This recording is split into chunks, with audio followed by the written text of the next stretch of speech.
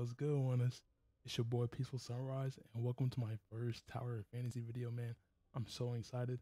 And during it, I'll cover things like, you know, banners, currencies, and uh, several other gacha mechanics from the game. But the goal is, by the end of this video, you feel like you've got a greater understanding on how and what you can do within Tower Fantasy. Let's get it.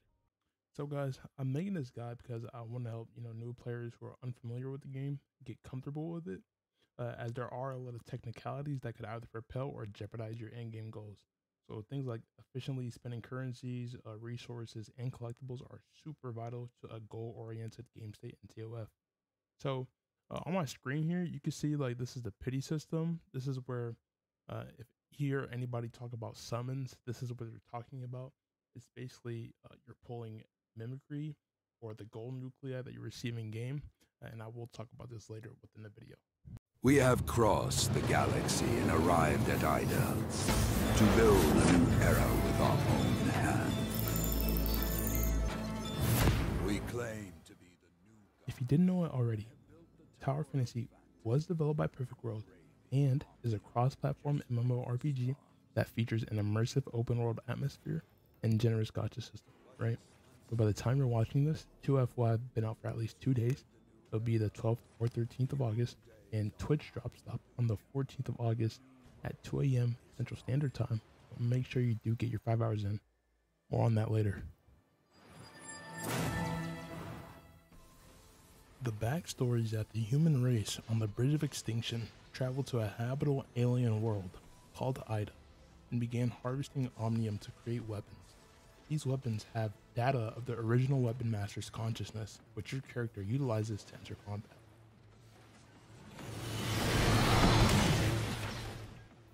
The best thing that I love about this game is that it's free to play friendly, uh, has a PvP system that coincides with an already great summon system, Pity, features open world raid boss fights, has both group and solo dungeon raids, as well as comes with a daily level cap that refreshes in accordance with account playtime. Welcome to the new world.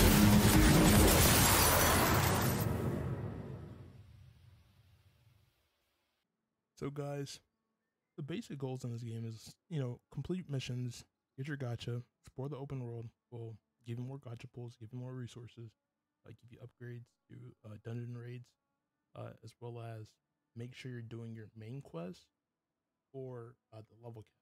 So if you're on your first day, uh, you do get what a cap of 18, I'm pretty sure. And then second day it's 24, and then the third day it should be uh, 27. So this is in accordance with your playtime, as mentioned earlier. So that first day you won't be able to get 24. That second day you won't be able to get 27. That third way, uh, that third day you will. So as you you know look at these missions, things of that sort, uh, you do have your open world exploration. You get get those chests right. Uh, by getting more of these resources, you're able to increase combat score through upgrades and you do get an assortment of items like ores, things of that sort. You do get some suppressor upgrades as well. Uh, all pretty good, super generous guys. Like can't go wrong with it. Uh, there are password chests scattered throughout uh, the map on TOF, and these basically require a password chip. And most of the time, you do want to do a perfect decipher versus a forced decipher. So basically, the discrepancy is that a perfect decipher means that you use a chip to open up the password chest, but a forced decipher means you're hacking into it. So there's a chance that you can actually trigger a long hour cooldown. Not sure, it might be 24 hours. Um, but if you do a first decipher, you're just able to get it up willy nilly, and you get an EXP increase by having it uh, perfectly deciphered. So uh, you do get those scattered around uh, missions, um, as well as for defeating enemies. So no worries about that. Supply pods, so you get nuclei with these, and the nuclei that you find um, within these supply pods, they'll be a black or gold, will be able to use or be used for gacha banners, and it does give you a lot of XP, right? Um, but password chests do give you more. And then item chests is the more general, more common type of chest that is found scattered. Uh, they do grant less XP, but not too big. Uh, and so the last is basically guys, Come on. You can get better than that. You just farm whatever you need. Uh, you know, there, there's also a way to get like a certain amount or whatever amount you want. Rewards, more awesome. So, guys, a couple tips. Right. Uh, we don't want to be leveling up too many weapons when you do get all your, you know, rewards. Uh, you know, if you, you know, go and click in and see that there's some items that you'll get, you know, acid proof glaze one, uh, fire core, uh, nano fiber frame, and so all these things are just used for for weapons. If I go to my warehouse here, open up, check for this upgrade here, look for an enhance. So it'll basically be using up these kits, and these kits are uh, basically set out for all the similar car weapons that you have set. Uh, if you do get a duplicate or you pull the same item, same common rare item, it will go into that certain core, that certain core item. So it'll be used as that enhance. So basically, you wouldn't have to use an external thing like an external item or an external collectible to upgrade that. You just need gold. You, you get gold from everywhere. So next part is basically that, guys. If we are going to be leveling up, you know, our weapons,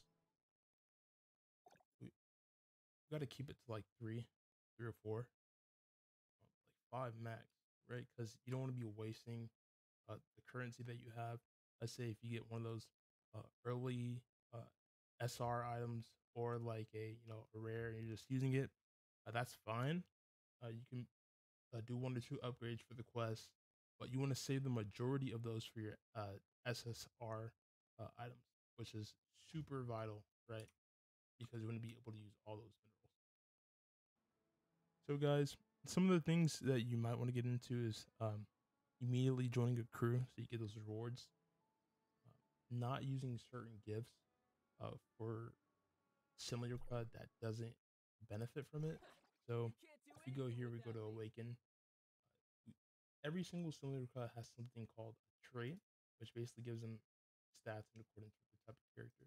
And what you can do to increase your awakening level is give points. Right, and these uh, and, and give gifts. Right, and these get converted to points. So essentially, gifts are points. So if it sees like something like games or limited store items, um, this is something called like a trait, like a gift trait. And then, let's say we wanted to go to like shop, right? Oh, I, I wanna I wanna get a gift.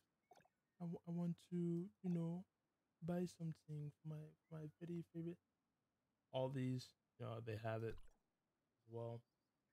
We go to our uh, these are all the all the rewards the reward side. Right here. Boom some of the some of the matrices we're discovering is a survey. Themed event. And as you can see some of these rewards will actually give you gifts within them. So what we can do is just complete these all the rewards that you get uh, they have a regular pass and a battle pass as well you get some dark crystals or following as well, and you can get some redemption code exchanges. Now, I want to do for you guys is actually slip some of these codes in here. So if you are already logged on, already uh, made your account as well. The code TOF triple six will get you a gold nuclei, eight thousand gold, and one SR relic shard box, right? So it gives you an SR relic of your choice. It can be like cannon arms, I think, um, something with jetpack, a lot of other stuff. Cool. And then instead of TOF triple six, it'd be TOF triple eight. This will give you 8,000 gold, one black nucleus, and 10 crispy grilled fish, which is satiate. So satiety, satiety, satiety, satiated, but basically, when you eat food in this game, it gives you HP, gives you a satiation. So basically cures your hunger. Hunger is a s- system within the game, which is pretty interesting. If you don't eat, you starve, right? And then the last code is I love TOF. Something like this. And you confirm. So you are limited to, to these three. If you go over, you'll exceed the redemption limit, right? You can find that at the gift box at the top. And if you click rewards, And exchange. And so you don't really get this until you get to the main mission, which is like ecological intruder. Ecological intruder. I'll probably tell you later in the video. Um, yeah, the ecological station uh, intruder quest is basically where you unlock summons and you get all the good stuff. So, next one. So, guys, if you do want to get to those gifts instead of just buying them on ice, which does require uh, a pretty penny, you can just press escape, hit up the commissary, and you'll find that um, in these places you can find upgrades, right? And this this currency is redeemed for spending vitality, and you spend vitality when you do certain missions. You know, joint operations, which basically is like a dungeon type system where you spend your health, basically your energy to complete a mission or a daily, things of that sort. Uh, dimensional trials, sort of the sort of like a four people training mission. You guys go hard. It's, it's essentially just killing mobs, right? Interstellar uh, exploration. There are parts on the map where you can go to a dimensional rift and kill mobs there, and it's every day. So that's always nice. And you have uh, ruins and world exploration. Ruins is basically you go to these puzzle type maps, you kill mobs, as well as you loot chests, and there's two to one ruin, and there's all types of ruins, man. Some of them a little tricky, some of them not. And you have world exploration, where essentially, uh, just you get stuff all over the world, right? You, you get rewarded for it, so that's always nice. And if you want to look at the ruins, what ruins look like, you know, it gives you XP, gives you gold, uh, gives you uh, shards for your relics, uh, as well as these uh, omnium crystals, which are good for your suppressor upgrades. Uh, we'll talk about suppressors in a bit. So as you can see, we're here at the suppressor page. You start at this V1 uh, first edition version one, uh, and essentially get level 12. And by the time you get level 12, you're probably gonna have way more than two potent omnium crystals, and you basically take that all the way to uh, 20 full V1.5 upgrade, which unlocks at level 20 and takes two potent omnium crystals. So two, four, six, eight, ten. So for your first suppressor, you'll be using 10 potent omnium crystals. And again, you do get those from ruins from the story, exploring Wanderer's Log. If you don't know what it is, that's what it looks like. And go back, never find the Wanderer's Log. This is what your adventure logs look like. What your Wanderer's Log looks like. Uh, essentially gives you free rewards for doing things in the game. Use chest tips, upgrade your suppressor to V1.3, level up to 18, level up to 24, level up to 27, and then level 28 starts chapter 4 as well. Um, if you do want to get those gifts, guys, remember go to the commissary. Uh, you can get certain gifts for your similar Uh, and you know, Simulacra is the person that you like. Maybe it's Shiro, an awakener, give her some some good stuff. You can see there's 45 here. She likes metal items. She, she likes anything that's saved, rare items, right? And then you would go back to commissary. What is what is such and such like? What is such and such like? Look at the traits, give it to them, right? Go to the weapon store. So, tricky part here, guys. If you're ever in the commissary, don't just go, "Oh my God, I've pulled my my 30 SSR. I pulled my 80 SSR. I have two SSRs. I should just buy. Or people like to just, oh, I've just pulled a bunch of, um, you know, SRs or whatever. I'm just gonna buy a random item. Please don't do this. You'll waste it. Essentially, once you get the SSR that you like, the, the trio that you like, uh, dedicate the pulls that you get from the gacha, from your summons, from the golden nuclei, um, and set it to the items that you get. So let's say if I get King, if I see King's item up here, I get it. Right? If I see Shiro, I see your Chakram, I get it. Right? And what this will do is basically get a copy of that item and you can use it in your enhance versus using minerals and uh, mats. So the Matrix store, essentially what this is, is like it gives you the full types of the weapon or simulacra that you like right? Or the card that you want, right? So I have Shiro, I have Cocoritter, uh, and I have a Zero. So so that's a benediction comp. Talk about resonance in a little bit. uh, basically I would get Shiro's box, right? I would get Zero's box, right? I would get Coco's uh Coco's box, and I just boom get one, no biggie. And we only do this when we fully committed to upgrading it, and as well as when we fully um committed to that team or fully committed to that simulacra, and it's super important. So here's a crew store you get crew points from doing things in your crew, donating to your crew. Um, for every donation you give, maybe it's requesting some eggs. Just toss that over there. Boom, you get currency. So let's say one donation, one donation is a hundred. Uh, it would take five donations for you to get one potent omnium crystal, which is one half of a suppressor upgrade. Uh, pretty nice if you ask me. So over here, uh, this this is a support point uh, currency.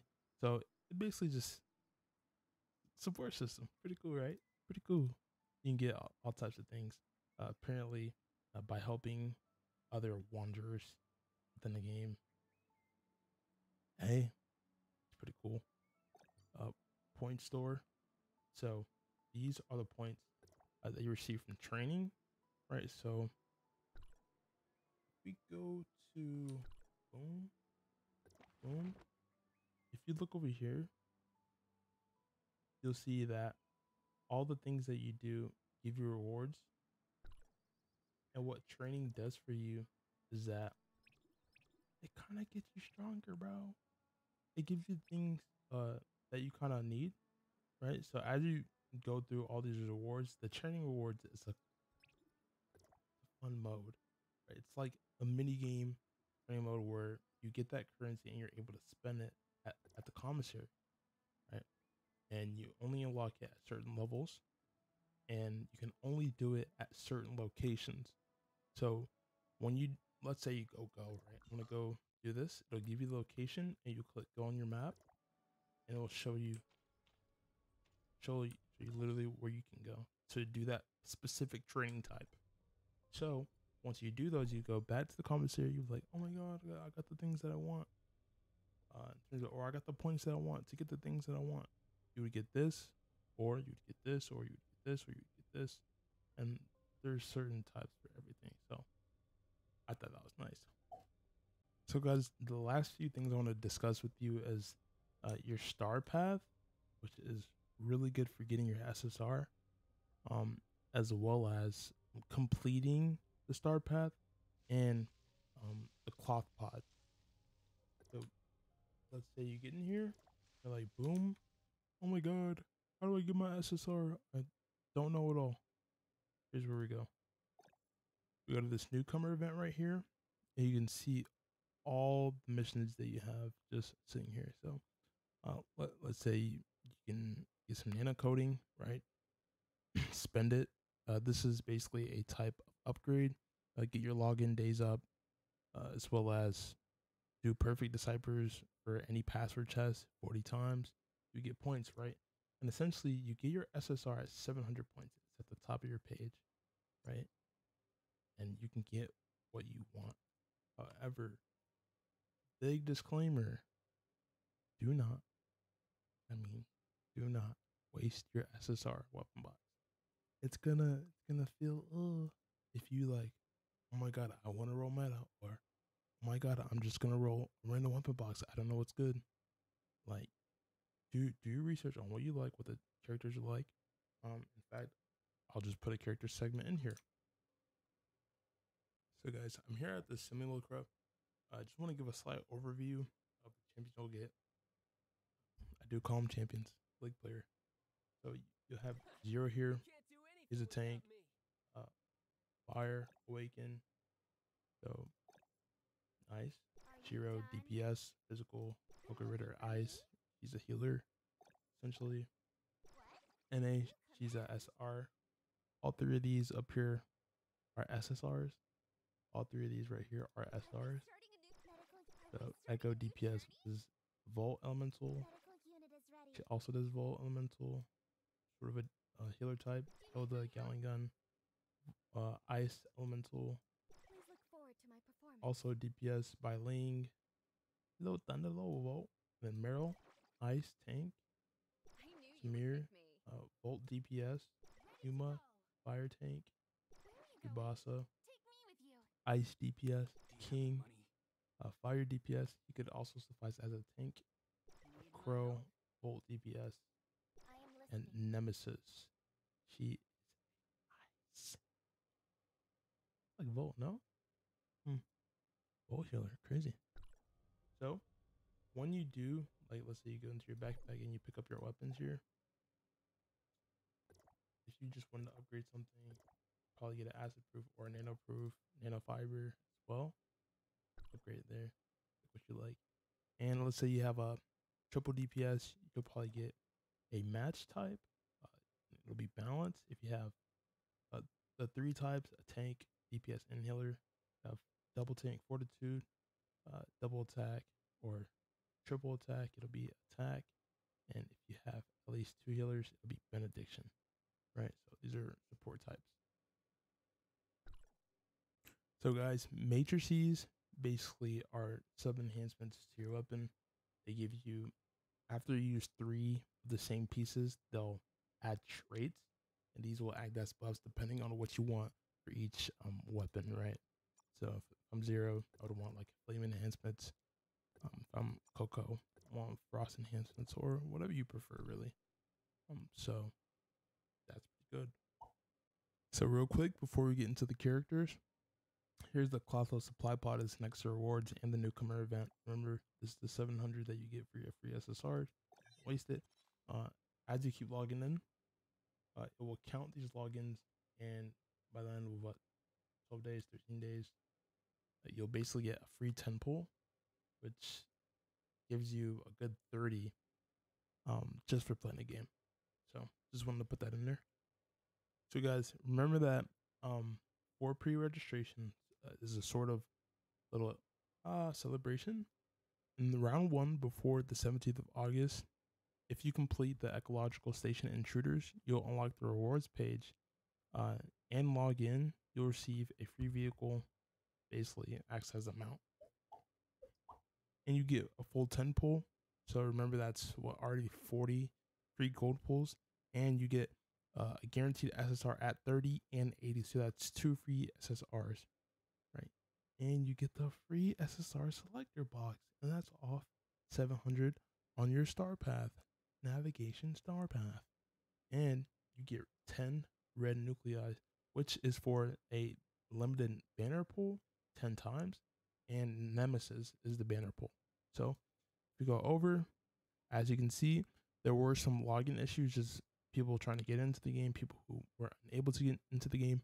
You get 600. Oh my god. My god. 600 dark crystals if you've already created um your account and registered. Um however, anyone who registers before the 17th of August gets another free 10 pull of gold nuclei. That's 50 10 pull. Come on, man. And you're working way past this um, 80 pity point by exploring. Like it's amazing. So, guys, those Twitch drops I was um mentioning earlier, let's do them, right? Like, let's do them. They end what in two days? They end on the 14th, I'm pretty sure, or uh, the 13th at 2 a.m. So, guys, if you have 0.5 hours of cumulative viewing, basically half an hour, 30 minutes, get a Black Nucleus and a Vanguard Trailblazer. Um, what it is, I'll probably look at it later. Uh, Get Pack 2 is a hour of viewing with the Dark Crystals. Get Pack 3, 2 hours. Uh, Get Pack 4, three hours. Get back five is four hours, and you'll receive three gold, uh, gold nucleus, SR relics, uh, about twenty five, and a- another one fifty dark crystals. So, I mean, what will you miss, guys? What will you miss, guys? Um, here we have relics that are available to you. You get all types of shards. You get something like a hand cannon, makes a, a, big portable piece of walkable land in the form of a cylinder. Cybernetic arm pulls them to you. On gives you a shield.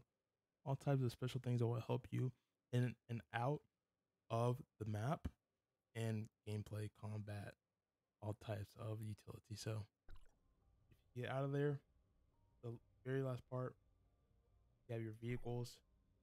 Boom. Have your terminal. Get chronicles, basically um, parts of the map that you have have done or have not done. So essentially, as you unlock more chapters, you unlock more parts of the travel log. You know, you have your missions, uh, side missions, where you can track, you can look, see what you have, see what you don't have, bounty, what you've accepted. So uh, I've completed all my bounties, so you probably won't see anything here.